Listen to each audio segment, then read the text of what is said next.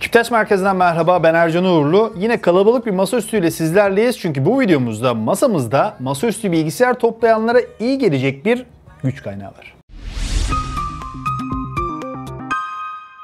Masaüstü bilgisayar oluşturma aşamasında her bir parça, parça elbette önem teşkil ediyor.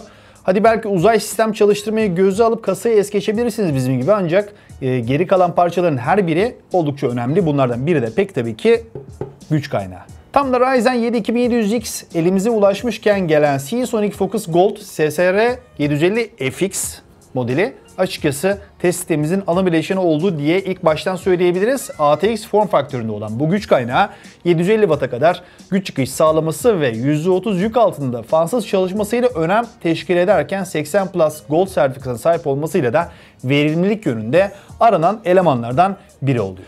Hemen cihazın tasarımıyla söze başlayacak olursak bal peteği tasarımda ızgarasıyla dikkat çeken SSR 750 FX böylece maksimum hava çıkışını hava akımına katkıda bulunuyor. Öte yandan uzun ve elastik yapılı kabloları kutu içerisinde bulundurduğunu ve kabloların modüler yapıda olduğunu da söyleyelim. Böylece ihtiyacınız olmayan kabloyu takmıyorsunuz ve e, dolayısıyla kasa içini rahatlatabiliyorsunuz. Yeni nesil Intel ve AMD işlemcilerle uyumlu olan Seasonic Focus Gold SSR 750 FX bizim de az önce söylediğimiz gibi Ryzen 7 2700X işlemcimiz ve ona bağlı olan donanım öğelerine incelememiz süresince güç verdi. Bu arada test sistemimizde bulunan su soğutmalı Dark Aquafox W242R işlemci soğutucusunu da dikkat çekelim. Çünkü gelecek işte incelemelerimizde e, bu ürüne, ürünün detaylarına da yakından bakacağız. Seasonic Focus Gold SSR 750 FX'in alamet farikası sessiz çalışması oluyor. %30'a kadar tamamen fansız e, modda çalışan cihaz %30 ila %50 yük arasında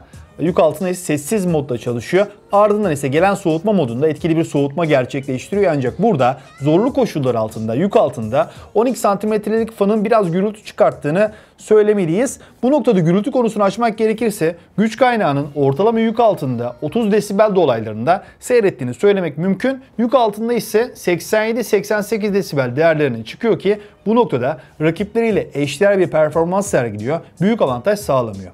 Öte yandan cihazın arkasında e, arkasında güç girişinin hemen yanında bir buton görülüyor. Bu buton fan kontrol düğmesi.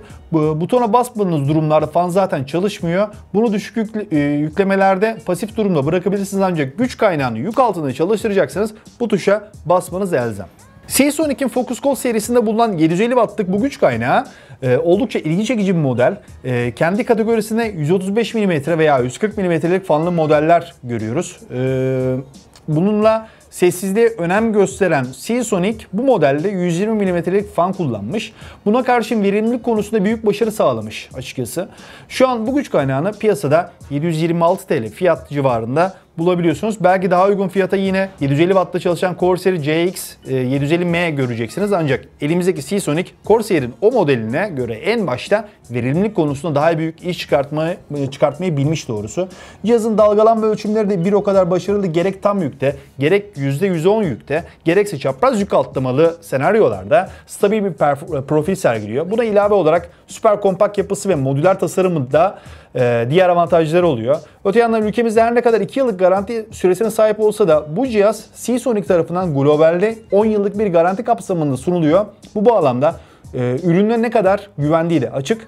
E, tabii ki bu noktada yine seçim her zaman olduğu gibi yine sizin. Ben Ercan Uğurlu bir sonraki videomuzda görüşmek üzere. Hoşçakalın. YouTube kanalımıza abone olmayı unutmayın.